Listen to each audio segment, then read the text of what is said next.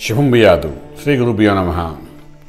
జ్యోతిష్ ఎన్నో విషయాలు మనం తెలుసుకుంటాము. మనిషి యొక్క గమనాన్ని ఎలా ఉంటుంది? మనిషి మీద గ్రహాలకు ప్రభావం ఏ విధంగా ఉంటుంది? మనం మాట్లాడుకుంటున్నప్పుడు. ఇప్పుడు ట్రాన్సిట్లోకి వచ్చినప్పుడు గోచారంలోకి వచ్చినప్పుడు ఏంటంటే రీసెంట్గా మనం చూసుకుంటే శనికేతువులు ఇద్దరు కలిసి మార్చి ఏడో తారీఖు నుండి మనకు ధనురాశిలో ఉండడము అలాగే రాహు రవి కుజుడు వీళ్ళు ముగ్గురు కూడా ఇప్పుడు ప్రస్తుతానికి మిథునంలో ఉన్నారు. ఇటువంటి ఈ కాంబినేషన్స్లోనే ఈ పదిహేను రోజులు ఏ విధంగా ఉంటుంది? అనే విషయాన్ని మాట్లాడుకుంటూ ఒక్కొక్క రాశి వారికి ఏ విధంగా ఉంటుంది అని విశేషంగా విశ్లేషంగా తెలుసుకుందాం. మేషరాశి వారికి దీని ప్రభావం ఎలా ఉంటుంది?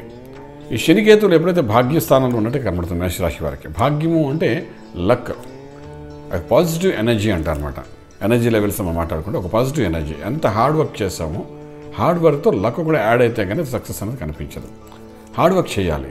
హార్డ్ వర్క్ లేనిది ఆఖరికి చూడండి ఈరోజు ఒక క్రికెటర్ని తీసుకోండి లేకపోతే పొలిటీషియన్స్ తీసుకోండి ఒక ఫిల్మ్ యాక్టర్స్ తీసుకోండి ఎంతో హార్డ్ వర్క్ చేస్తారు వీళ్ళు. చేసి ఆ లాస్ట్ మినిట్కి వచ్చిన తర్వాత కూడా నాకు కొంత లక్ ఉంటే తలరాత్ర ఉంటేనే మనం గెలుస్తాను లేదని అంటారు. అదేంటి? యాటిట్యూడ్ ఆఫ్ ది పర్సన్ కాదు. ఆ లక్ అనేది ఆ నైన్త్ హౌస్ అనేది స్ట్రాంగ్ ఉంటేనే ఆ లక్ అన్నది కూడా యాడ్ అవుతుంది అనమాట హార్డ్ వర్కింగ్ కూడా. సో నైన్త్ హౌస్లో ఎప్పుడైతే ఈ కేతు ప్లస్ uh, శని కూర్చున్నాడో ఈ నైన్త్ హౌస్లో ఆ లక్ దగ్గర వాళ్ళు కూర్చున్నారు కాబట్టి ఆ లక్ని అన్లక్ కింద కొంతవరకు మార్చడం ప్రయత్నం చేస్తారు వాళ్ళు. They are not positive energy planets ఎవరికి మేషరాశి వారికి. సో ఎప్పుడైతే అన్లక్ కింద మారుతుందో అంటే ఒక హండ్రెడ్ రూపీస్ కానీ మీరు ఎర్నింగ్ చేయాలని చెప్పి ఒక భావన అనుకుంటే ఆ హండ్రెడ్ రూపీస్లో కనీసం వాళ్ళు అన్లక్ చేయడానికి ఆల్మోస్ట్ ఫిఫ్టీ రూపీస్ వరకు వాడు అక్కడ ఎక్స్పెండిచర్కి చూపించేస్తారు వాడు. అది దాటిన తర్వాత మన రాజ్యము తర్వాత భాగ్యము లాభము తర్వాత వ్యయము తర్వాత మనకు వచ్చేది.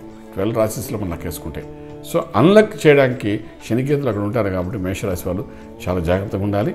సో ఎప్పటికప్పుడు మనం పాజిటివ్ ఎనర్జీ పెంచుకోవడానికి సక్సెస్ఫుల్ అవ్వడానికి చేసే భాగంగా మేధా దక్షిణామూర్తి మంత్ర సాధన చేసుకుంటూ వెళ్తే అంటే గురుమంత్రాన్ని సాధన చేసుకుంటూ వెళ్తే మాత్రం డెఫినెట్గా ఒక సక్సెస్ కనబడుతుంది. ఎందుకు కనబడుతుంది అంటే ఈ రాశ్యాధిపతి గురుడు అక్కడ. తొమ్మిదో ఇంటికి అధిపతి ఎవరంటే గురుడు అక్కడ.